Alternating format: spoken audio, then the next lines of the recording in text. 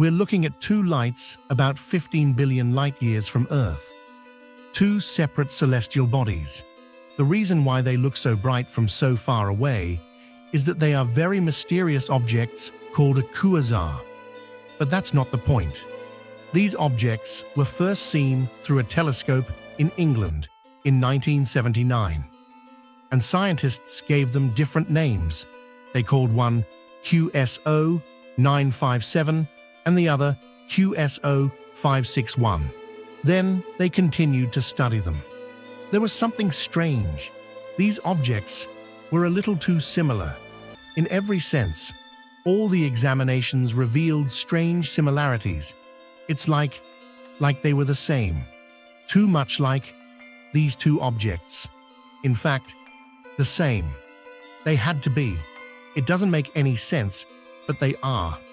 And so it was for astronomers. It was like seeing a mirage in the desert. But one of them would eventually solve the problem. They were not wrong. They weren't wrong. What they saw as two separate objects was actually one single object. And one man had already predicted and theorized this 100 years earlier. The world's first famous scientist, a man who was treated like a superstar while he was alive, a phenomenon who taught many people how to think outside the box, Albert Einstein. At the beginning of the 20th century, the man who told us that humanity had misinterpreted the universe for thousands of years and that even geniuses like Isaac Newton could be wrong. In the What is Time video, we made an introduction to Einstein's universe and laid the groundwork. Now I would like to take a deeper look at the universe through Einstein's eyes, and of course, the theory of general relativity that changed everything. I think the word that best describes Einstein's universe is space-time, and what we call space is the 3D space-place we know. In other words, we live in a universe with length, width, and height. As you may remember from the previous video, time was thought to be outside of this. Einstein's finding that changed everything was that he said that time is not independent of this space. In the universe, time and space are so intertwined and integrated that we can think of them as a fabric, like an entity on which all the objects in the universe move. We call this entity space-time. Isaac Newton described the universe as a stage, like a box, a box in which everything happens. And in this universe, everything was in space. All the celestial bodies, including our Earth, interacted with each other in this space as if on a string. All the stars, galaxies, but that's it. Einstein's universe is completely different. As I mentioned, everything moves in a being, not in a vacuum, space. It's not empty. All celestial bodies are moving inside this entity, which you can think of as a dense liquid. And all the planets, all the stars, all the galaxies, according to their size, are bending, stretching, and expanding this space-time. Now let's go back to the single quasar that we see double. It was the interaction of matter in this space-time that caused this interesting situation, and the only explanation for seeing a single object as a double could be this bending of space-time. Since the light emanating from this gigantic quasar falls into another gigantic galaxy or group of galaxies between us and it, the light is bent because these galaxies bend space-time. These galaxies, which can consist of billions of stars, bend space-time in such a way that when we look at it, we see this quasar behind it as a double. This has a name. We call it the gravitational lens effect. It is the bending of light. But this finding is more than an explanation of why we see double, an optical illusion. It is actually a proof of everything Einstein calculated and tried to explain. It is a proof of the general theory of relativity. Because Newton's biggest problem was that even though he could calculate gravity, he couldn't explain how it worked. In a way, he said, from now on, it's up to you. He had done some amazing calculations, but that's where he got stuck. He said, you solve it. And what Einstein did was to say, open up, I've got it. And he did, indeed, with the general theory of relativity. What he explained was simply this. The space we call space, the space we think is a void, is actually not a void. It is space. It's actually something that physically exists. Dark matter. And this phenomenon we call space-time is described in its simplest and most general form as in this video. Gravity is actually the bending of space-time by gigantic celestial bodies, which resembles the veil seen in this video and the movement of smaller objects on the resulting curve. So what did Einstein say? Newton, I am so sorry. Again, he was both sad and very happy, because Einstein had found that there was no such thing as gravity. Yes, there is. There is no such thing as gravity. Objects were not attracting each other, they were only moving within the limits of the bending created by each other in space-time. You, me, the sun, galaxies. Everything with mass and energy was also creating this distortion. The quasars just now were actually a newly discovered piece of evidence, just one of dozens of pieces of evidence. When Einstein came up with this theory, many scientists turned up their noses and called it crazy. And to a certain extent, they were right. Newton had already calculated everything correctly, and our calculations were very consistent. Where did this theory come from? And anyway, no matter what kind of theory you put forward, you need proof. And you can't make anyone believe you without that proof. For this, Einstein would have to wait about four years before everybody turned their heads and looked at him and say, he was right. In 1919, Sir Arthur Eddington, one of the astronomers who believed in Einstein, decided to test the general theory of relativity during a solar eclipse. In this theory, Einstein had calculated exactly how much this bending of spacetime would bend light. 1.75 arc seconds. This measurement, a calculation used in astronomy, is simply the angle at which you look at an object in space. Divide 1 degree by 60 and you get arc minutes, and divide that by 60 and you get arc seconds. Einstein had made such a precise calculation, and his claim was to be tested for the first time.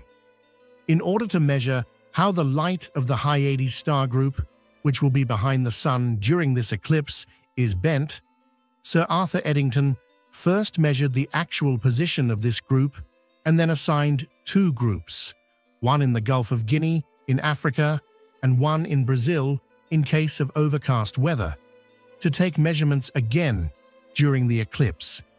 These groups measure the light from this Hyades group of stars, which is exactly at the back of the Sun, during a solar eclipse.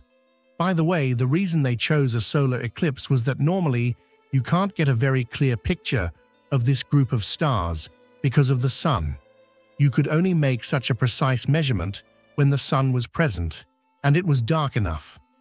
After returning to England, Eddington collected the data and found that the light was bent exactly as much as Einstein's theory suggested, with zero deviation. On the morning of the next day, he published this finding, and in one day, Albert Einstein was a household name all over the world, and his name was indelibly etched in history.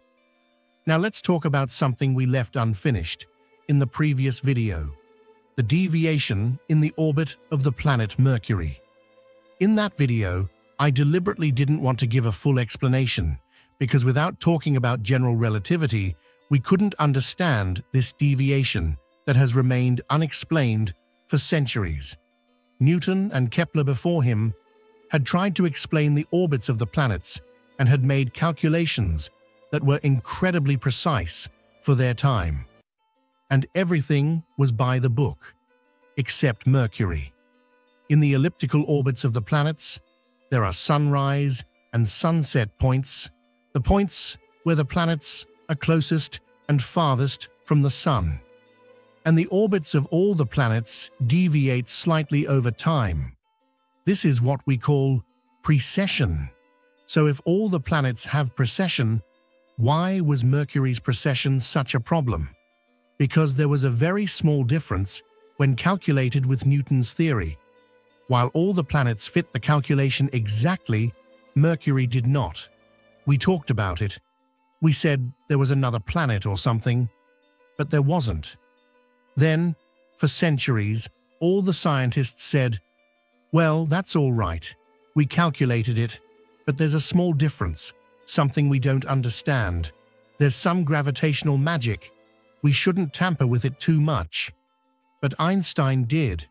Actually, he didn't start directly from Mercury, but when he put forward the theory of general relativity and explained spacetime, the pieces would fall into place. When the deviation in Mercury's orbit was recalculated with Einstein's formulas, it fit with zero deviation and error. Because a planet was experiencing this deviation, this motion at the solstice point, where it was closest to the Sun, due to the curvature or twist in spacetime caused by a gigantic celestial body like the Sun. Wherever you look, whichever galaxy, whichever celestial body you calculate, Einstein's theory of general relativity gives the exact answer, explains all the movements in the universe. But I want to tell you about a very strange event that happened very recently, when the general theory of relativity was caught on camera an event that would have filled Einstein's eyes had he lived, gravitational waves. Now, if we consider that space is not empty and that every event that happens in the fabric of space-time affects this fabric, for example, a gigantic explosion as a result of the collision or merger of two black holes, and an event of this magnitude should affect this fabric, that is, space-time in a very wide framework, right? Here, think of a drop of water falling into water, or you throw a huge rock into the water. With this effect, you will see waves spreading over the water. Einstein predicted these waves, by the way, but he didn't think it was possible to observe them. He was not wrong with the technology of the time, but technology has improved. It has improved a lot. And you know what happened? In 2016, an observatory called LIGO, whose main purpose is to detect these gravitational waves, and the scientists who gave life to this project for the first time in history, the incredible energy generated by the merger of two black holes. And when I say incredible energy here, let me put it this way, it could be equal to the energy of all the stars in the observable universe. Gravitational waves caused by gravitational waves. The existence of these waves was theoretically discovered by some scientists in 1974, but this is the first time they have been directly detected with devices, sensors, and lasers. And for these findings, the LIGO team received the Nobel Prize in Physics in 2017. 100 years ago, people who detected an event that a man had only theorized about, received the Nobel Prize. I think this is just one of thousands of reasons to understand what kind of a person this man was, what kind of a genius he was. When you hear and read all this, you think Einstein has finished physics, he has explained everything. He thinks we might fall apart. But everything was just beginning. A very, very different world was waiting for us. The fourth dimension Einstein added would not be enough for us. Five, ten, one thousand countless dimensions. Cats that were both dead and alive. Particles that are in different places at the same time, but in telepathic communication. Erwin Schrödinger, Niels Bohr, Werner Heisenberg, Max Planck, Max Born. He was waiting for us, Quantum World. He was waiting for us. Don't forget to like the video, and subscribe to my channel. Until we meet again, take good care of yourselves. And as always, I'm glad you're here. Love.